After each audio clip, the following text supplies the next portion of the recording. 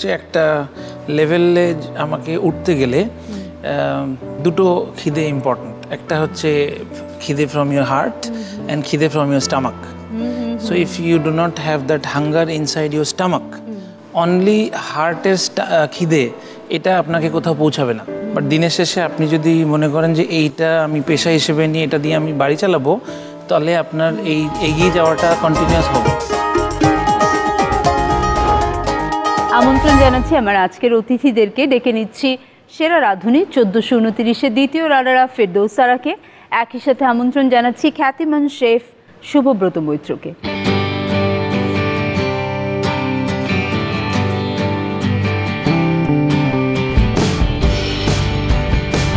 কেমন আছেন শেফ? আমি ভালো আছি আপনি কেমন আছেন? আমি ভালো আছি। আপনি কেমন আছেন ফেরদৌসারা ভালো আছি আপু।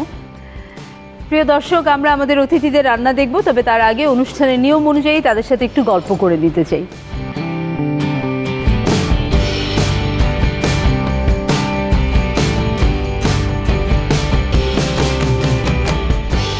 প্রিয় দর্শক, যেমনটা বলেছিলাম, আমার অতিথিদের সাথে একটু আড্ডা দিয়ে নিতে চাই। আজকে আমি ফেরদৌসারা আপনাকে দিয়ে শুরু করতে চাই।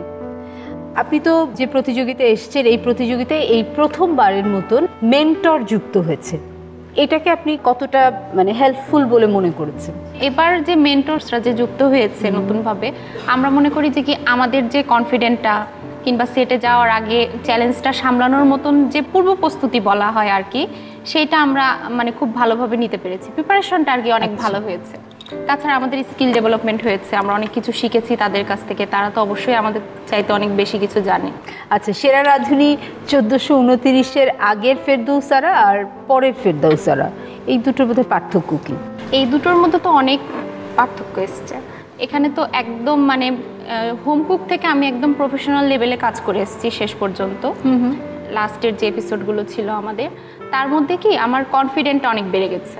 আমার ফার্স্টে মনে হতো এটা আমি করছি এটা আসলে ঠিক কি না পারব কি না এই জিনিসগুলো একটু কমে এসছে। না মনে হয় যে পারব দেখা যাক না কি হয়। কনফিডেন্সটা দিয়ে দিয়েছে। হ্যাঁ কনফিডেন্সটা অনেক ভালো এখন। আসব আবার আপনার কাছে। শেফ আপনার কাছে যেটা জানতে চাইব যে আপনি গত পর্বে বলেছিলেন যে এখন যারা আসছে সেরা রাঁধুনিতে তারা আসলে শিখে আসছে।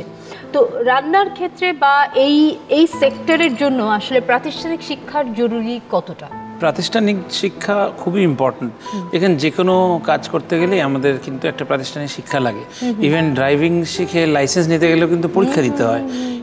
এই ফুড ইন্ডাস্ট্রিতে কেন আমি জানি না যে it was not mandatory and it is still not mandatory আমি বলব যে সবাই রান্না করতে পারে সবাই শেফ সবাই নিজেদেরকে মনে করেন যে তারা অনেক ভালো জানেন।